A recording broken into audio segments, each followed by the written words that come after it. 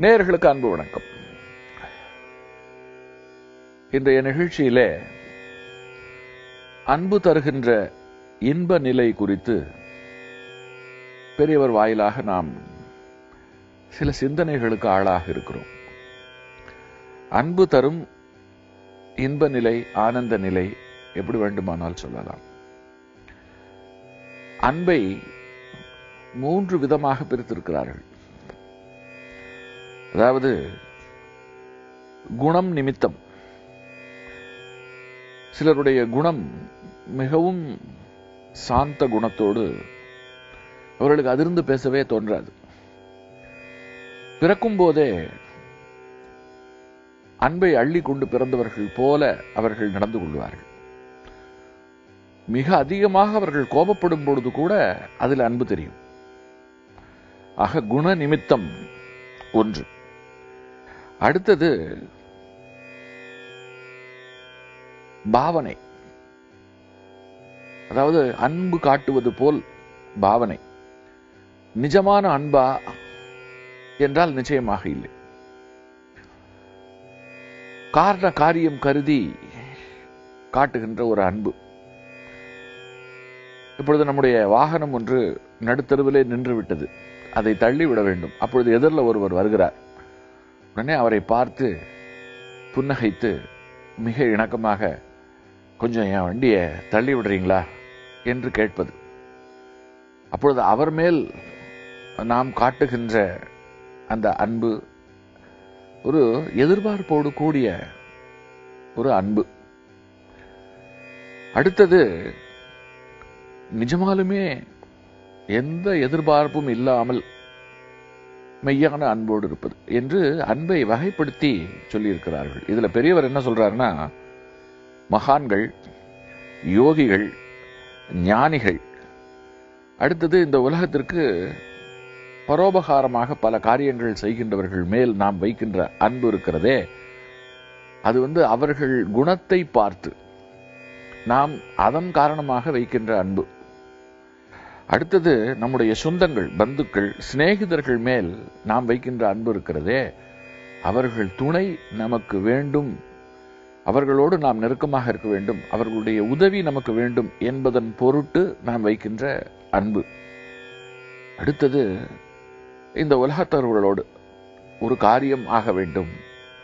ஒரு லாப நோக்கம் கருதி நாம் வந்து ஒருவரோடு பழகுவது பேசுவது அவர் மேல் அன்பு காட்டுவது என்பது ஒரு காரணம் கருதி ஒன்றை எதிர்பார்த்து செய்யப்படுகின்ற ஒன்று. ஒரு வியாபாரி ஒரு கடைக்கே போறோம்.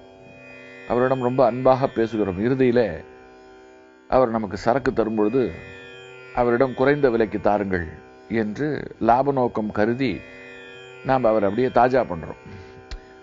இதெல்லாம் ஒன்றை எதிர்பார்த்து செய்கின்ற அன்பு. இப்படி இந்த அன்பை பட்டியல் போட்டு சொல்லுகிறவர் இதில் எதுவுமே உண்மையான அன்பு அல்ல. இப்படி அன்பு செய்யக்கூடாது. இது இந்த அன்பு இருக்கிறதே இந்த அன்பை விட ஆபத்தானது எதுவுமே கிடையாது. இந்த அன்பு நிரந்தரமானதும் கிடையாது.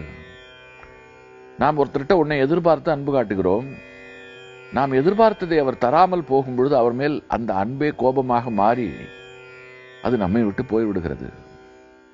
அதே போல ஒரு ஞானி பேர்ல ஒரு யோகி பேரில் அன்பு வைக்கிறோம். அவர் இந்த பூவுலகை விட்டு சென்று விட்ட நிலையில அவரை நாம் மறந்து விடுகிறோம். அவரை நாம் தொடர்ந்து நினைப்பதில்லை. இதேதான் நம்ம பந்துக்கள் அவர்கள் உயிரோடு இருக்கும் வரையில் அவர்களோடு நாம் அன்பு பாராட்டுகிறோம். அவர்கள் சற்று தூரம் போய்விட்டால் வெளியூருக்கு போய்விட்டால் கூட நாம் உடனே அவரை மறந்து விடுகிறோம். எப்பொழுதாவது சந்தித்துக் கொள்ளும் பொழுது நாம் பரஸ்பரம் பேசிக் கொள்ளுகிறோம் ஆக அன்பு என்பது நம் விஷயத்துல நேரத்திற்கும் காலத்திற்கும் சூழலுக்கும் நம்முடைய விருப்பத்திற்கும் தகுந்தார் போல இங்கே வந்து செல்வதை கவனிக்க வேண்டும். இது எல்லாமே ரொம்ப தப்பு. இப்படி இருக்கவே கூடாது. சொல்லிட்டு காரண காரியத்தோடு அன்பு ஏற்படவே கூடாது. அப்படின்னு பெரியவர் வந்து அறுதி அதாவது உறுதியாக ஒரு அடிக்கோடிட்டு சொல்லுகிறார். காரண காரியத்தோடு அன்பு கூடவே கூடாது. அது எந்த விதமான காரண காரியமும் இன்றி ஏற்பட வேண்டும். அப்படி அப்படி இருக்கிற அன்பு இருக்கிறது அல்லவா? அதுதான் வந்து நல்ல அன்பு. அப்படி யாராவது இருக்க முடியுமா இந்த உலகத்துல? அவரே கேள்வியை கேட்கிறார். இதை சொல்லிவிட்டு அவரே இந்த கேள்வியை கேட்கிறார். துளி கூட எதிர்பார்ப்பு இல்லாமல் காரண காரியமே இல்லாமல் அன்போடு இருக்க முடியுமா? அப்படின்னா இருக்க முடியும்.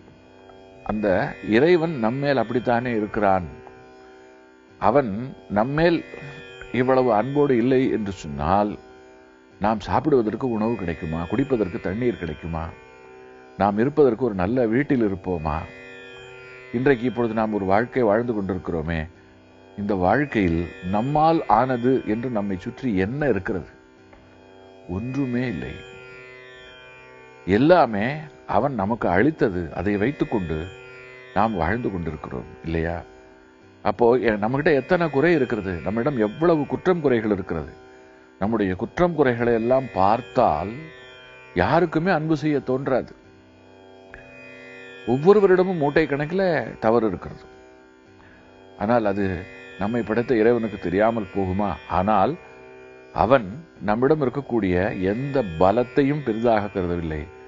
பலவீனத்தையும் பெரிதாக கரவில்லை அவன் நம்மேல் அன்பு கொண்டு நமக்கு அவன் அருள் செய்தபடி இருக்கிறான். ஆகையினால இந்த உலகத்தில் மெய்யன்போடு ஒருவன் இருக்க முடியுமா என்று சொன்னால் இறைவன் இருக்கிறான்.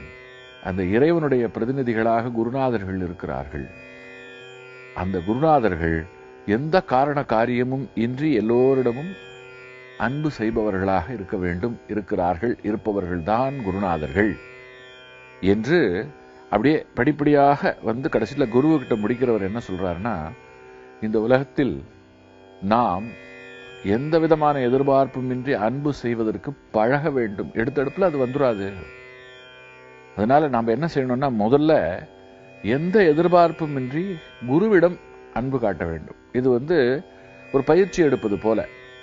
நாளாவட்டத்தில் குருவை தொடர்ந்து எல்லோரிடமும் அப்புறம் இந்த உலகத்தவர்களிடம் எல்லாவற்றையும் கடந்து மனிதர்கள் என்கின்ற எல்லையை கடந்து தாவரங்களிடம் மற்ற ஜீவராசிகளிடம் இப்படி நாம் அன்பு காட்டத் தொடங்கி விடுவோம் இப்படி அன்பு காட்டினவர்கள் எவ்வளவோ பேர் இருக்கிறார்கள்.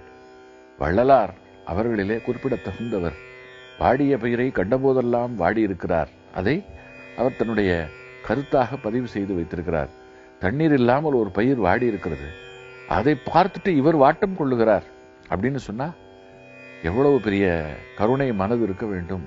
தன் தேரையே பாரி வந்து முல்லை கொடிக்கு கொடுக்குறான் அப்படின்னு சொன்னா அவனுக்கு எவ்வளவு பெரிய பேரன்பு இருக்க வேண்டும். இப்படிப்பட்ட அன்பு கொண்டவர்களாக நாம் உலகத்தில் இருக்கக்கூடிய சகல ஜீவராசிகளையும் நேசிக்கின்றவர்களாக எந்த எதிர்பார்ப்பும் இன்றி அதுதான் ரொம்ப ரொம்ப முக்கியம்.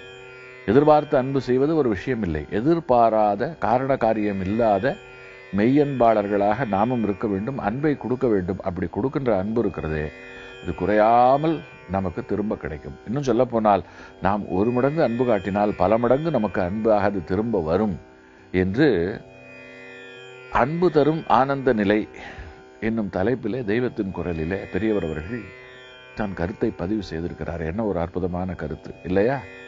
தொடர்ந்து சிந்திப்போம். காஞ்சி நகர் உரையும் कामकोटिगुरुवे कामकोटिगुरुवे कामकोटिगुरु